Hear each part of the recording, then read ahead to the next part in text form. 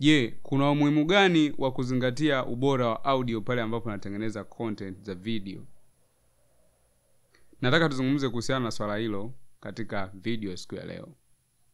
Naitwa joel kadaga creative designer. Ikiwa ni mara yako ya kwanza kabisa kutembelea channel hii usahau kusubscribe na kubonyeza alama ya kengele ili kila napo upload video uwe wa kwanza kupewa taarifa na kuja kujifunza masuala yote yanayohusiana na creative design film making pamoja na teknolojia ukweli ni kwamba audio ina umuhimu kubwa sana kwenye video.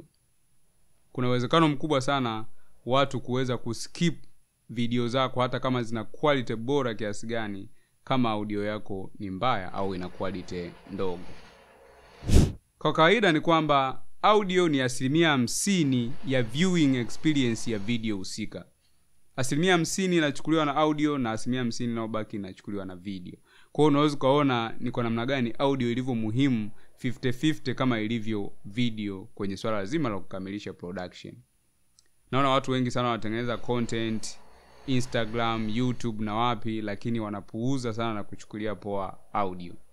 Tangu nimejifunza na kufahamu umuhimu wa audio sijawahi kuchukulia poa na nimekuwa nikiupgrade time to time na kuendelea kujifunza zaidi namna ya kufanya video zangu kuwa na audio bora uh, so hata wewe nakushauri unapotengeneza content zako hakikisha kwamba unazingatia kadi utakavyoweza kuwa na audio nzuri katika video zako unazotengeneza ili kuwavutia watu waendelee kutazama zaidi na kukuza chaneli yako au social media zako ambazo unaposti. Kuna microphone siku hizi mpaka za simu ambazo ni nzuri zinaweza kukupa quality nzuri ya sauti pale ambapo unakuwa una rekodi so nataka nishie na wewe sasa unafanyeje sasa ili uweze kuhakikisha kwamba una maintain sauti. Haijalishi huko level gani ndo unaanza hakikisha unatafuta microphone ambayo inaendana na budget yako pamoja na aina ya content ambazo unazifanya. So kama unaanza kutengeneza content kwa ajili ya instagram usirekodi tu kwa kutumia simu yako na mic ya simu. Hauwezi kupata sauti ambayo ni quality. Jitahidi utafute microphone hata inayoendana na na, na, na, na content unazofanya kwa maana kuna microphone zingine mpaka za elfu tano kuna micro, uh, microphone za elfu hamsini kuna laki moja na nusu kulingana na bajeti yako. Kwa hiyo nunua microphone yoyote ambayo utaiweza ili kuhakikisha kwamba unaweza kutengeneza audio ambazo ni nzuri. Kitu kingine ambacho ni muhimu jifunze namna ya kurekodi na kuedit sauti ili uhakikishe kwamba unapata sauti nzuri. Ni mlolongo kidogo ambao ni muhimu sana kwako katika hatua ya kujifunza. Kama umeamua kutengeneza content kweli na umewekeza muda kujifunza namna ya kutengeneza video basi wekeza muda vile vile namna ya kuedit na kutengeneza uh, audio nzuri ili content zako ziweze kuvutia. Kwa hiyo jifunze software mbalimbali ambazo unaweza ukatumia kurekodia audio namna ya kufanya setting ya microphone zako kwenye simu au kwenye kamera au kwenye kompyuta kama na rekodi kwa kutumia uh, laptop yako au kompyuta yako. Ukijifunza over time ukiimprove over time utaanza kutengeneza content nzuri ambazo zinavutia watu hasa kwenye swala la audio sambamba na video ambayo pia itabidi uweze kuzingatia. Upgrade time to time kama kitu unachokifanya kinakulipa mbali na kukulipa tu kama unaamua kuwekeza kwenye kitu lazima uweke pesa. Invest money to get money. So kama unatengeneza kitu ambacho unataka kiwe kikubwa na kiweze kufikisha mbali basi hakikisha kila baada ya muda unafanya analysis ya kile ulichokuwa unakifanya unasikiliza maoni ya watu unaangalia content creator wengine wanafanyaje kwenye hicho kipengele basi una upgrade kwa kutafuta microphone nyingine ambayo iko katika level ya juu kidogo time to time ili uweze kutengeneza au kuimprove content zako kadri siku zinavyoenda hata wewe mwenyewe uweze kukuvutia zaidi na kuona kwamba wow ninachokifanya kina improve.